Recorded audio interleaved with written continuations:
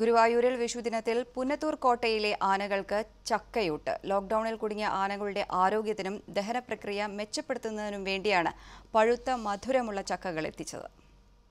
സാധാരണ April May മാസങ്ങളിൽ പൂരപ്പറമ്പുകളിൽ നിന്നും പൂരപ്പറമ്പുകളിലേക്ക് തിരക്കിട്ടോടേണ്ട സമയമാണ് ആനകൾക്ക്. എന്നാൽ കഴിഞ്ഞ ഒരു മാസമായി എപ്പോഴും വിശ്രമം മാത്രമാണ്. വ്യായാമവും നടത്തവും ഇല്ലാത്തത് ആനകളുടെ ആരോഗ്യത്തെ സാരമായി ബാധിക്കുമെന്ന് വിദഗ്ധർ അഭിപ്രായപ്പെട്ടു.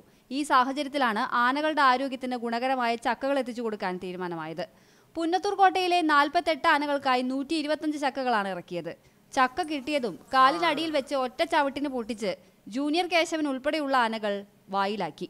ഇവിടെ ഈ ചക്കപ്പഴത്തിന്റെ മണം കിട്ടിയപ്പോൾ തന്നെ ആനകളുടെ ഒരു ശരീരഭാഷ കൊണ്ട് തന്നെ വളരെ സന്തുഷ്ടരാണ് എന്നാണ് മനസ്സിലാക്കുന്നത്. ഈ ചക്കകൾ കൊണ്ട് വളരെയധികം ഫൈബറുള്ള ഫുഡാണ്. ആനകളുടെ ശരീ ശരീരത്തിന് ആരോഗ്യത്തിന് വളരെ നല്ലതാണ് എന്നുള്ള അതാണ് അതിന്റെ ഞങ്ങളുടെ വെറ്റിനറി ഡോക്ടർമാരൊക്കെ ഇവിടെ സർട്ടിഫൈ ചെയ്തതിന്റെ പ്രകാരമാണ് ആനകൾക്ക് ഈ ചക്കപ്പഴമൊക്കെ കൊടുക്കുന്നത്.